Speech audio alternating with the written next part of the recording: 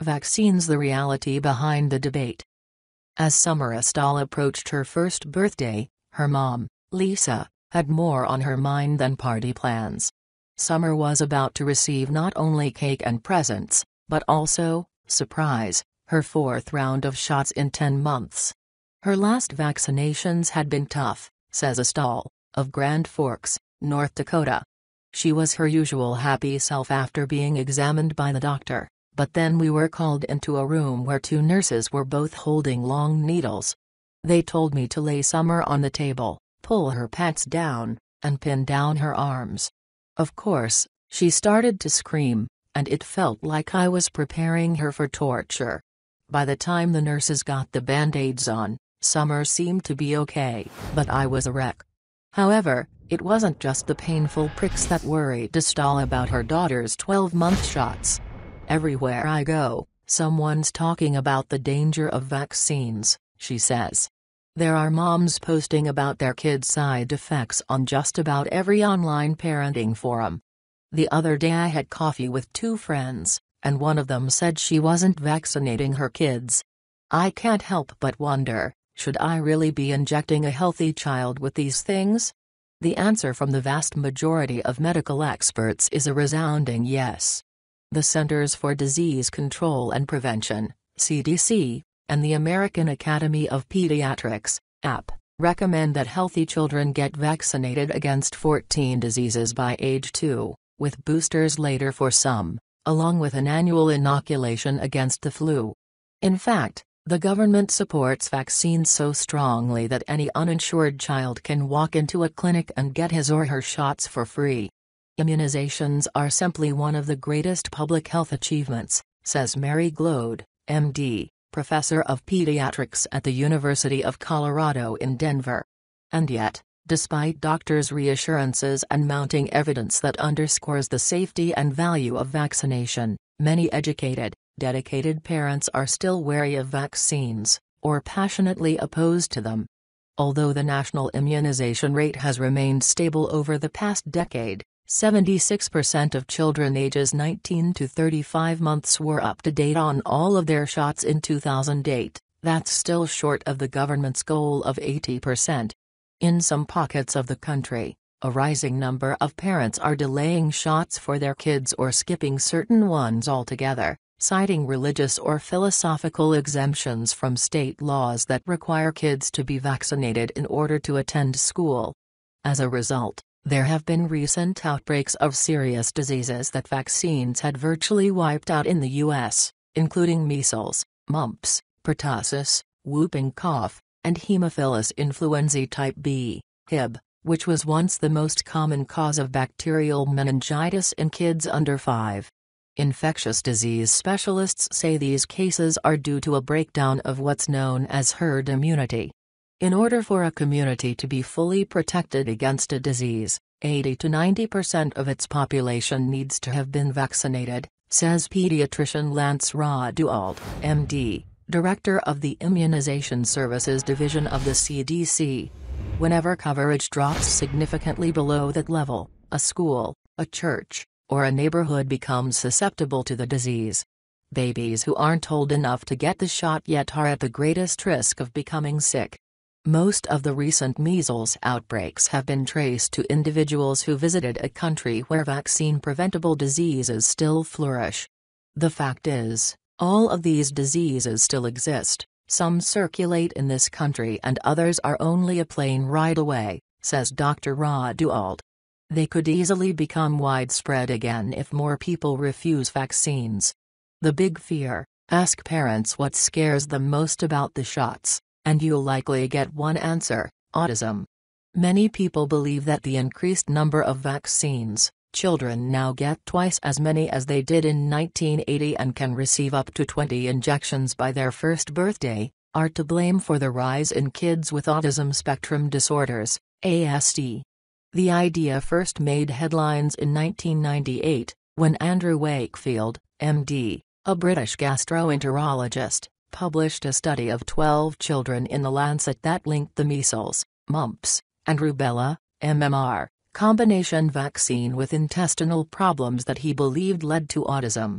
The following year, The AAP issued a warning about thimerosal, the mercury-containing preservative that was found in most vaccines. Though it didn't mention autism specifically, it suggested that the use of vaccines with thimerosal could theoretically push an infant's total exposure of mercury, a neurotoxin, above safe limits, and it recommended that the preservative be removed from shots. The vaccine autism hypothesis was solidly in the mainstream by the time actress Jenny McCarthy went public with her belief that vaccines caused her son's autism, describing in heartbreaking detail how the soul left his eyes on a 2007 segment of the The Oprah Show. It was enough to scare any mother, says Eileen Pike, of West Palm Beach, Florida, who has chosen to delay certain vaccines for her son, now 23 months.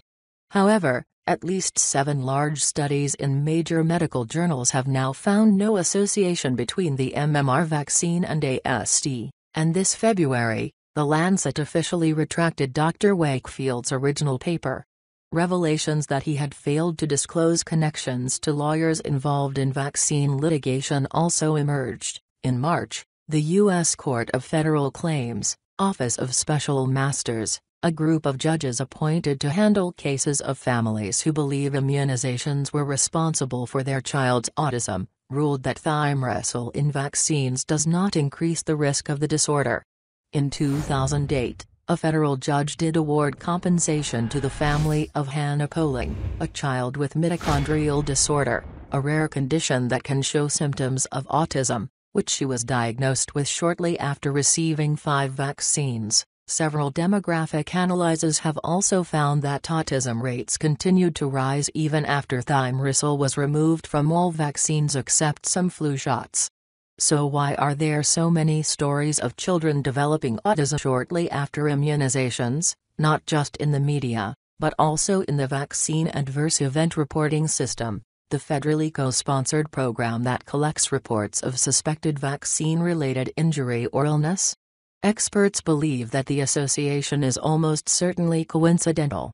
Children get their first dose of the MMR vaccine at 12 to 15 months, the age at which autism symptoms typically become noticeable, says Paul Offit, MD, director of the Vaccine Education Center at Children's Hospital of Philadelphia and the author of Autism's False Prophets, Bad Science, Risky Medicine, and the Search for a Cure. It's the same reason why there are reports of SIDS deaths after DTaP, diphtheria, tetanus, and pertussis, immunizations, says Dr. Offit. Infants start the DTaP vaccine between 2 and 6 months, which is the time they're also most likely to die from SIDS. In fact, some autism activists now believe that we should even do more studies about a possible vaccine connection because they take attention and money away from important research that is investigating other potential causes of the disorder. We have to move forward and be willing to accept what science tells us. Vaccines do not cause autism, says Allison Singer, president of the Autism Science Foundation and the mother of a child with autism. Weighing the risks, that doesn't mean that vaccines aren't capable of causing adverse effects beyond a sore arm and a slight fever. In 1986, the government created the National Vaccine Injury Compensation Program to reimburse families whose children had serious side effects, and it has awarded nearly $2 billion on 2,398 claims.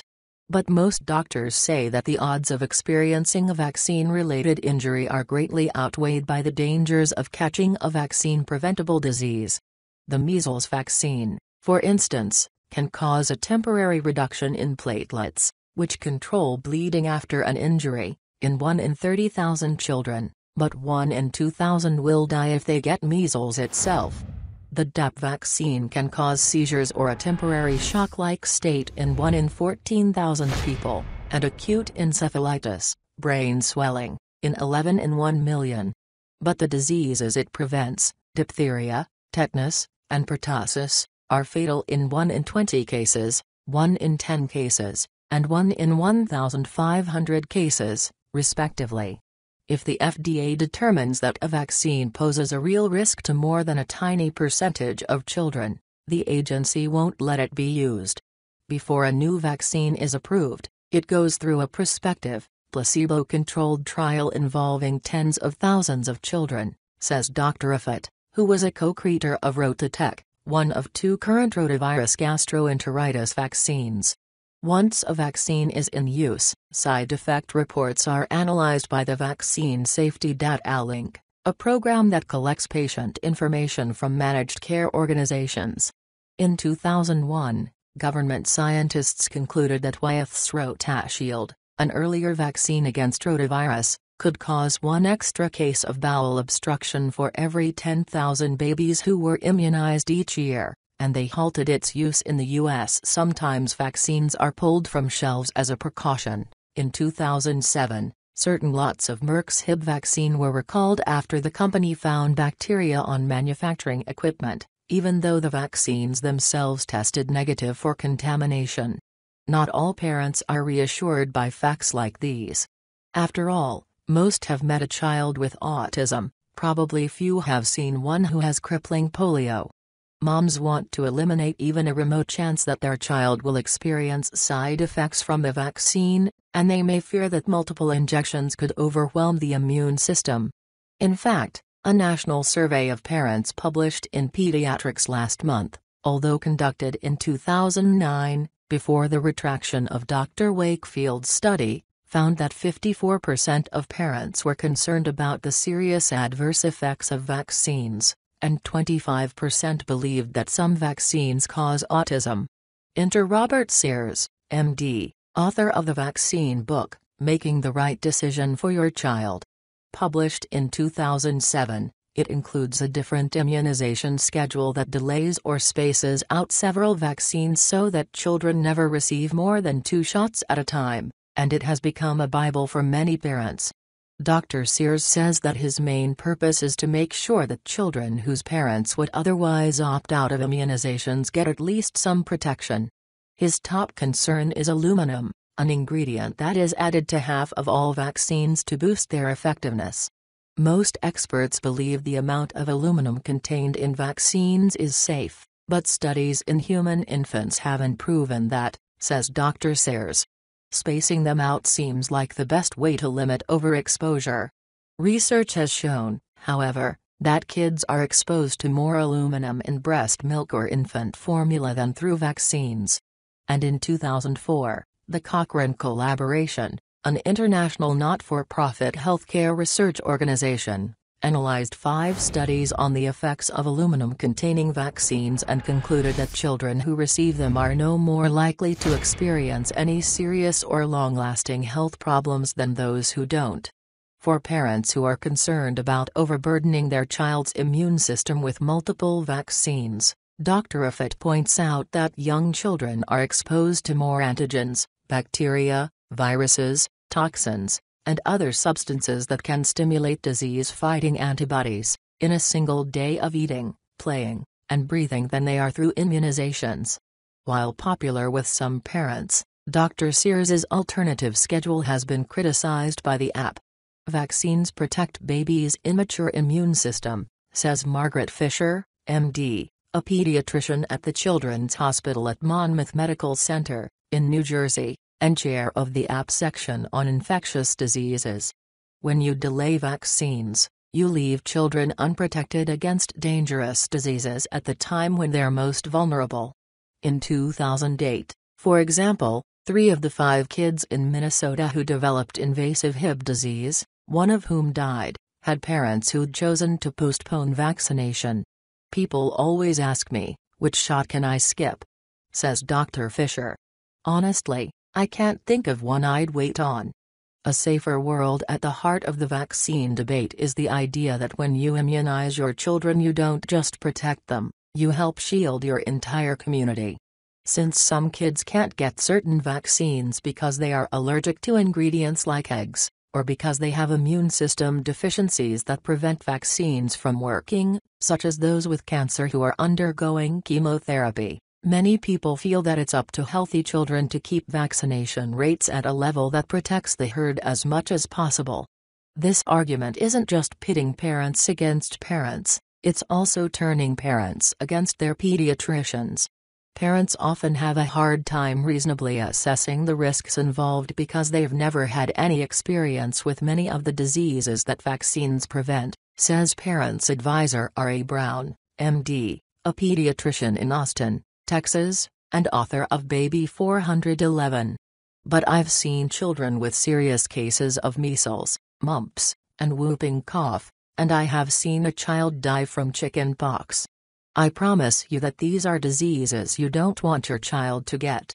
Although some doctors are refusing to take on patients whose families don't plan to immunize, it's important for parents and pediatricians to have respectful conversations.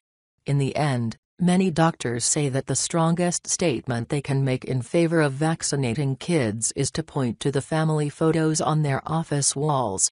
Sometimes the only way that I can get through to nervous parents is by telling them that I don't do anything different for my own two children, says Dr. Brown. Fortunately, most parents do decide to vaccinate. That was the case last year when Lisa Estelle overcame her fears and celebrated Summer's first birthday with a round of immunizations. And it was the case when Allison Singer brought her 12-year-old daughter, Jody, who has autism, in for an H1N1 shot. Kids were dying all across the country from this flu. Just because my daughter has autism doesn't mean she should be denied a potentially life-saving vaccine, she says. On the contrary, I wanted her to be protected.